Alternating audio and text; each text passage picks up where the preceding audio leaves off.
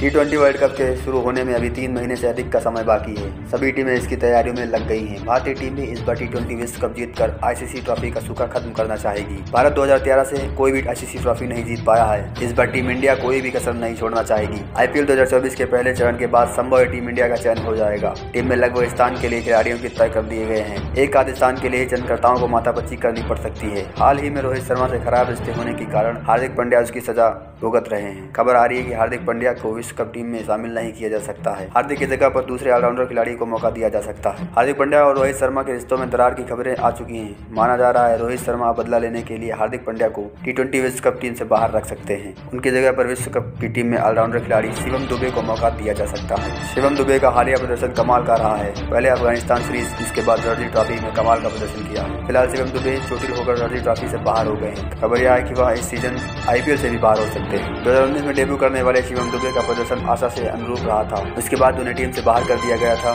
फिर team India में लंबे समय के बाद वापसी करने वाले ऑलराउंडर शिवम दुबे का प्रदर्शन शानदार रहा है। अफ़गानिस्तान के खिलाफ तीन मैचों में दुबे ने एक सौ अठावन की स्ट्राइक रेट सौ चौबीस रन बनाए हैं। ओवरऑल करियर की बात करें तो शिवम दुबे ने भारत के लिए अभी तक सिर्फ़ एक ही वनडे मैच खेला है, जिसमें उन्होंने नौ रन बनाया वहीं शिवम दुबे ने इक्कीस टी मुकाबलों में दो सौ छिहत्तर रन बनाए हैं। उनका सर्वाधिक स्कोर तिरसठ का रहा है औसत उनतालीस का और स्ट्राइक रेट एक सौ पैंतालीस का रहा है। उनके बल्ले से अभी